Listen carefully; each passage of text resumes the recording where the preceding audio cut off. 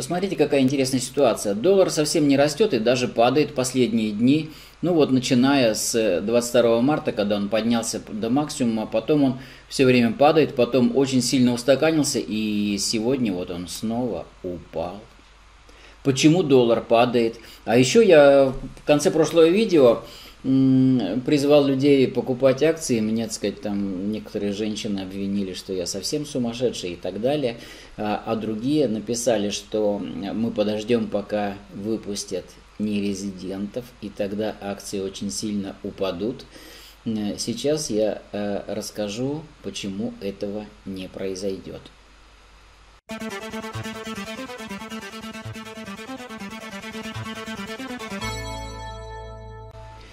Итак, здравствуйте, друзья, здесь Демитков Юрий. Но я считаю, что эти два э, как бы момента, они взаимосвязаны. Посмотрите, э, доллар сейчас э, падает в цене. Почему?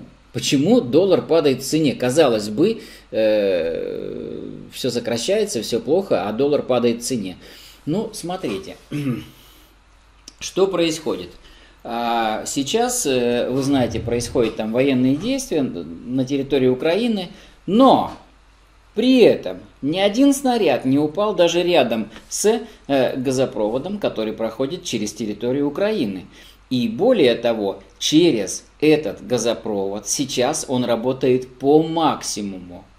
По максимуму. И туда качается газ. И Европа платит деньги России. Россия платит деньги Украины, за Украине. Все очень аккуратненько происходит. Северный поток тоже работает. Северный поток, один который. Вот, э, и газ вполне качается. А, теперь дальше. Э, цены на газ сейчас повысились. Э, ну, на самом деле, там, сказать, то, что качается сейчас, это по долгосрочным контрактам, которые, ну, на которых там повысились цены, не повысились деньги те же самые. Вот. Но факт тот, что деньги за газ в Россию поступают в долларах, в евро. Понимаете? Теперь далее. Что с этими деньгами? Что было раньше? Раньше у нас было бюджетное правило, там, э, ну, во-первых, в бюджете заложено, что газ должен быть там, и, а нефть, нефть должна быть больше 40 долларов за баррель, она сейчас больше, намного. Э, во-первых, да, давайте посмотрим, почем нефть. Да вот она, 102 доллара за баррель, понимаете? 102, это, ну, не шутки, а у нас заложено там больше 40 было, так сказать, бюджетное правило. Вот, э, то есть нефть тоже продается пока, и доллары сюда, и евро поступают. И за нефть, и за газ, и за прочее, прочее, прочее, сказать, ну, традиционно, что мы э, посылаем на экспорт. Теперь далее.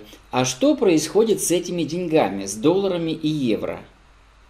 Если раньше мы большую часть, ну или большую часть достаточно этой выручки оставляли там же за границей, то есть мы их складывали в э, фонд национального благосостояния, в резервный фонд куда-то там и оставляли их там Э, ну, с одной стороны, просто на Западе, с другой стороны, вообще в Америке. И сейчас эти деньги заблокированы и недоступны нам. Вряд ли мы их уже увидим, честно говоря. Но э, что теперь? Теперь доллары поступают целиком в Россию. Дальше, значит, до сих пор была э, обязательная продажа, так сказать, там сколько там, 50% выручки, потом 80% ввели. Сейчас, значит, после того, как Путин сказал, что газ там за рубли и так далее. Там, конечно, все это так как-то хитрая схема. На самом деле э, все идет по-прежнему. За газ платят в долларах и евро, за нефть там и так далее. Но сейчас 100% этой выручки, если раньше, смотрите, там 50% э, э, выручки продавалось на бирже в валюте, то сейчас все 100% валютной выручки продаются на бирже. То есть, смотрите, деньги поступают в том же объеме, валюта, продается на бирже 100%. Кому она продается? Теперь смотрите, а кто покупатели? А покупателей валюты нет. Почему нет покупателей? Единственный покупатель это ну, государство, скажем так, Центробанк. Э, слушайте меня внимательно, смотрите. Ну, э, население много долларов не купит. Вот, во-первых. Во-вторых, э, ну, а даже если и купит, то нет, а там запрещено просто. Запрещена продажа э, долларов населению. Э, на покупку доллара введена грабительская 12-процентная э, комиссия – то есть, смотрите, если я покупаю, я уже снимал видео по этому поводу, э, доллар по 83 рубля, то, соответственно, я заплачу еще 12% сверху, там получается еще 10 рублей сверху. То есть, я заплачу за этот доллар 93 рубля, а продать я его смогу за те же самые 83. И я никогда не дождусь, что он вырастет дороже, чем 93 рубля. Нафига я его буду покупать? Вот, поэтому э, очень жестко ограничено Э, ограниченная покупка. А да, а, а кому еще он нужен? Он нужен для того, чтобы закупать э, за границей какие-то импортные товары и комплектующие.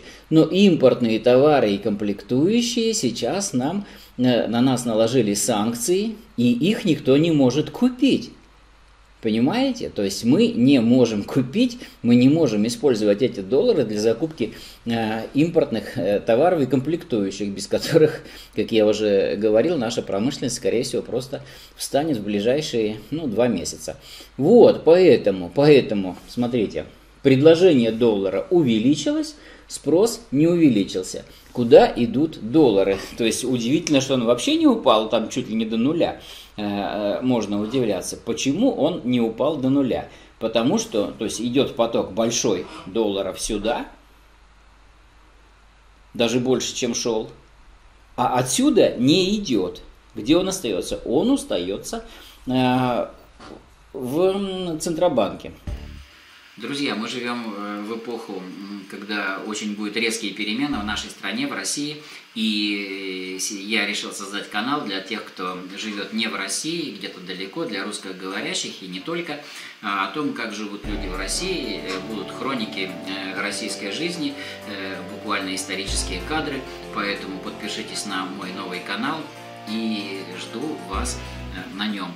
Э, будет много интересного. Я буду рассказывать э, о тех ценах, которые сейчас есть и которые, наверное, уже никогда не вернутся, э, о том, как одеваются люди, просто, так сказать, прогулки по странам, по, по городам, по улицам, по магазинам, на каких машинах ездят, как люди одеваются и прочее, прочее. Исходя из этого, вы сможете сделать какие-то выводы. Если удастся на какие-то э, исторические, какие-то важные места попасть, э, события, где происходит. Ну, я тоже постараюсь там быть. Поэтому подпишитесь на мой новый канал. Теперь далее. Э, что с акциями? Акции у нас не растут, не падают, потому что, э, смотрите, когда ситуация возникла, в Лондоне, вы знаете, акции там упали буквально там чуть ли не до нуля, и бери не хочу.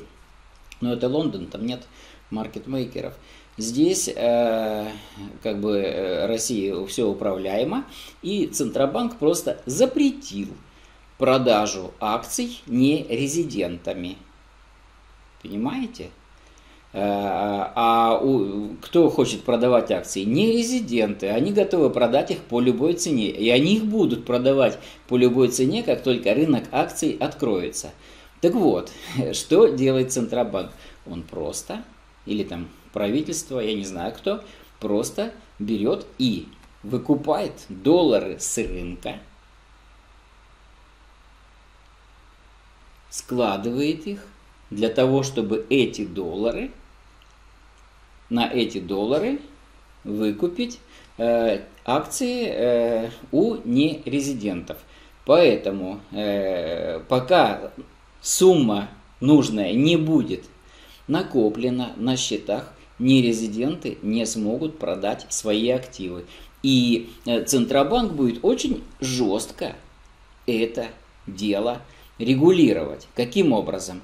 Накопился там триллион долларов – или там сколько там миллиардов долларов. Вот на этот миллиард долларов они квоту дают нерезидентам, пожалуйста, продавайте свои акции. Но дешево. И эти акции нерезиденты смогут продать кому? Э, Центробанк уже, а Центробанк продаст Кому? Нам с вами, инвесторам. Поэтому э, не ожидайте, пожалуйста, что акции сильно понизятся в цене, и вы на этом э, что-то, э, ну, как бы вы сможете купить акции дешево. Не сможете. Не ожидайте, что, вы, э, что доллар сейчас будет расти в цене. Не будет расти. То есть он вот сейчас э, продается и вот такой. Это во-первых. А во-вторых, для того, чтобы ну, показать какую-то видимость благополучия э, в ситуации, когда все рушится. Ну, это чисто моё, моя точка зрения. Итак, смотрите, доллары текут сейчас в страну. Для чего? Для того, чтобы их потом, значит, ну, торговаться с нерезидентами, которые будут продавать активы, для того, чтобы выкупить у них эти активы за эти самые доллары. Но э, я тут узнавал, мне сказали, что э, у нерезидентов на руках Э, активов на 15 триллионов рублей. А Центробанк выделил на поддержку фондового рынка 1 триллион рублей. Ну, то есть, поэтому нерезидентов выпускать на рынок свободнее нельзя. Поэтому сейчас торги происходят очень-очень вяло. И поэтому, смотрите, вот э, вы видите, нефть выросла, да, мы видели, э, доллар опустился практически до тех уровней, на которых он был. Вот сейчас, ну, там, до 80 он опустился. Рублей за доллар – это биржевой курс. А, ну, если вы будете покупать, то плюс 12% заплатите. Индекс РТС по акциям, ну, сейчас пока он держится внизу. И я вас уверяю, что тут и будет стоять, то есть Центробанк будет выкупать вот эти акции – именно по этой цене. А дальше, дальше, если все разрешится когда-нибудь э, в лучшую сторону и инвесторы пойдут снова в Россию, тогда эти акции взлетят. Поэтому покупайте акции, пока не поздно. У компании все в порядке, они работают. ГМК Норникель работает.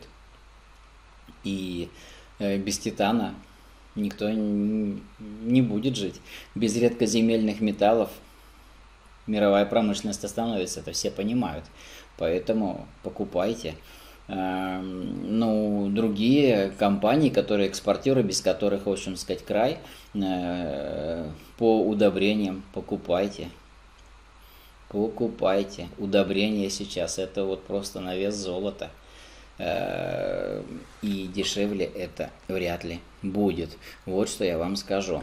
А, ну, э, собственно говоря, вот то, что я хотел сказать по поводу долларов и по поводу э, того, что надо дождаться, пока выпустят нерезидентов, и акции упадут, и вот тогда их купить на минимуме. Не получится. Чисто мое мнение, напишите, что вы думаете по этому поводу, согласны или нет. Я думаю, что многие не согласятся. Ну, так, давайте поспорим. На сегодня все. Спасибо за внимание. С вами был Демитков Юрий.